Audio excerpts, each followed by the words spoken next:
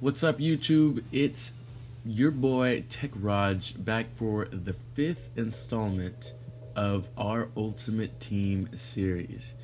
And if you've been following the series, you know what time it is. Time to play the last game, the final game. It's the Super Bowl. As you can see, if we win this, we get 3,000 coins and we also get one pack.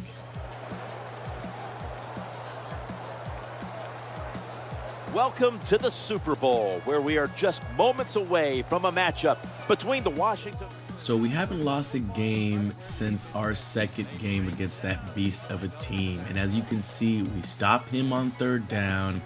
He tries the screen. We're not going to allow that to happen. We're the only ones that are going to be doing screens here. I get the ball second and three. I'm trying to show him how the screen game works. And you can see Reggie Bush there calling out a block.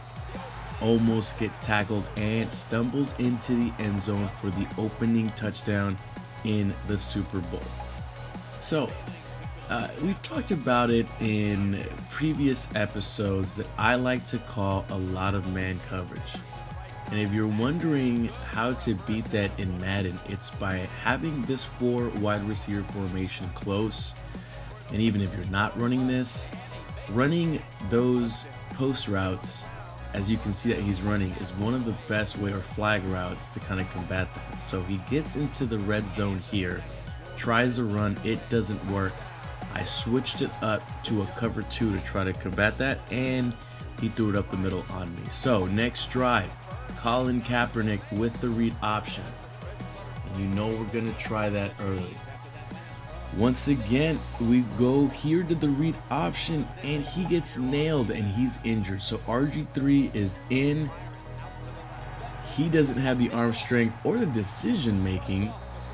And he throws the interception here. I'm going to blame the sunbeam in my eyes. I'm going to blame hip hop. I'm going to blame the recession.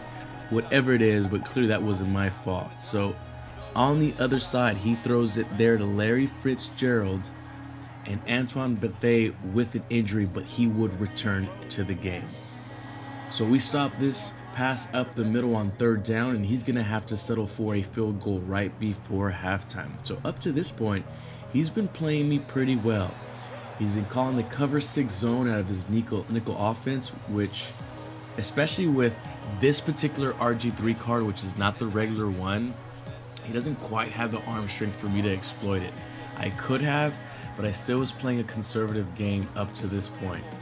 Throw it deep on what is a dangerous pass, but that should have been a pass interference. I tried to hit it deep so I could probably get into field goal range.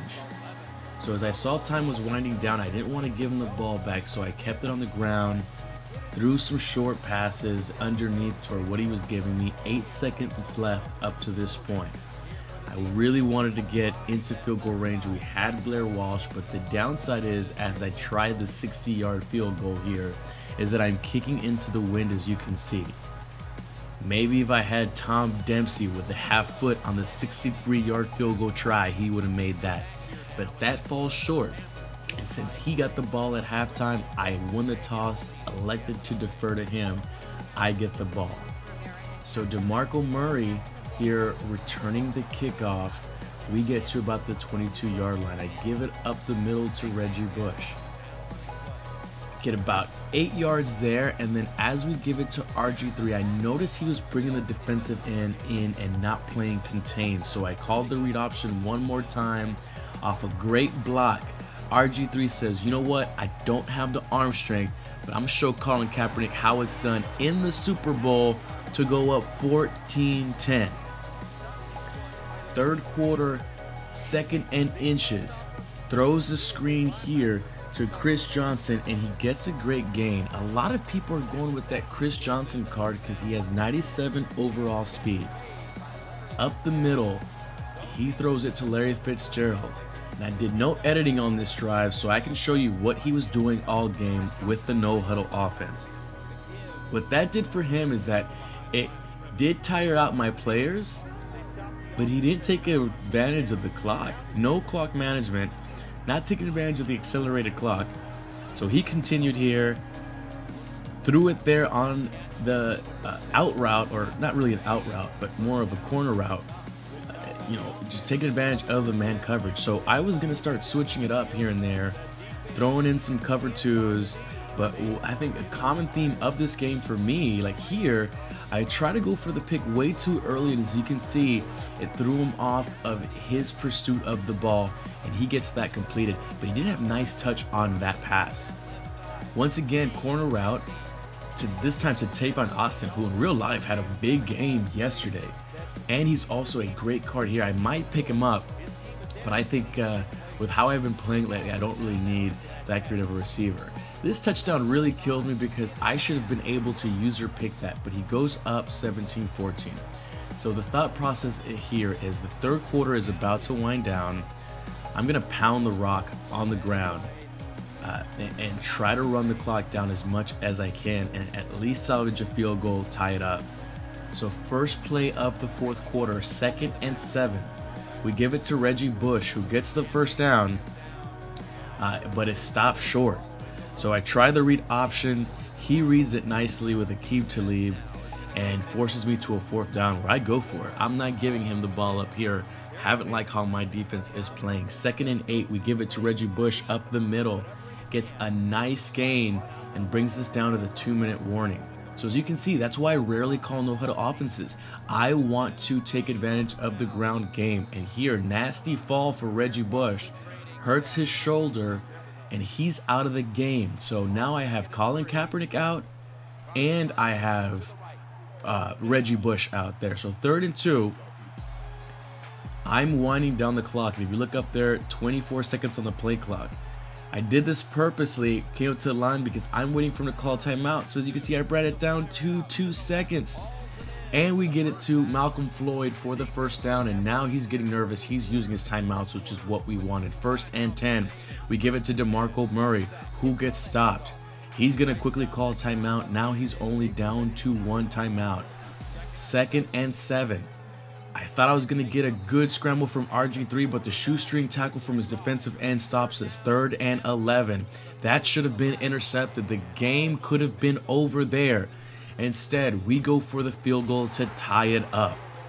Could we have a first ever Super Bowl going into overtime? That's never happened before. I kick it off only 13 seconds left. He's returning it here with Devin Hester. Jukes out. That's a block in the back, but it wasn't called. But fortunately, we get him for the stop. So right here, last play, seven seconds left. He's not going to make a touchdown here. So we're just going to shut this down or allow him to complete something underneath. And then we're going to take it to overtime. Throws it out and... What? Horrible throw. I'm saying get out of bounds, get out of bounds. One second left. 53 yard field goal. Let's watch.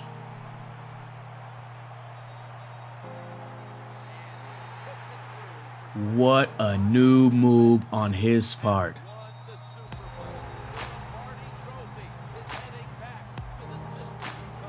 Bringing the Super Bowl back to DC. What a turn of events. I was fully ready to go into overtime, but he decided he was going to be greedy and for some reason try to complete a pass to the sideline that wasn't going to help him. So as you can see here, our players are celebrating. Our win streak continues. Now it's at 10 games. We haven't lost since week two. What a great thing. And there you can see the confetti flying down. RG3 is excited because he gets in due to the Colin Kaepernick injury. As time winds down, the field goal, and they're devastated. They should have had the pick at the end there. Play of the game, rightfully so, was RG3's long run. And look how beautiful that was.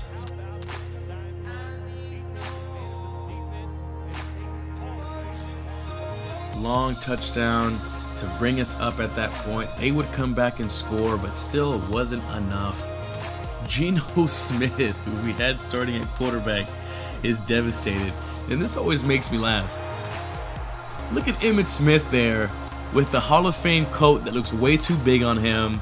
He's short as it is, so he looks like a nerd or like one of those little kids that gets dressed up for church. He's so small that look, everybody's kind of throwing him around like a rag doll, but he's gonna deliver that Vince Lombardi trophy to us. Brandon Boykin, who had the interception late to seal the game, uh, is the winner there. And then you see RG3 and Demaryius Thomas there. Why? Who knows? Demaryius Thomas didn't have a single catch. Didn't even get the you know the, the pass interference call that we wanted there. And I always laugh at the coach still with the headset on, celebrating. Come on, this is next gen EA. What are you doing there? But you know, I mean, exciting thing in our first season. Uh, you know, you're playing against subpar competition. Our opponent here, though, was pretty good, even though he made a boneheaded move at the end. As you can see, we get the 3,000 coins and the pack. And the pack that we get is this Thanksgiving Classic Seasons pack. And it's a number of things. You have the option, I think, of getting a player, I believe. I may be wrong on that, but it's a lot of collectibles uh, that you can get. So, hey, thank you so much. Subscribe. You guys have been doing great on that. Follow us on Twitter. See you next time.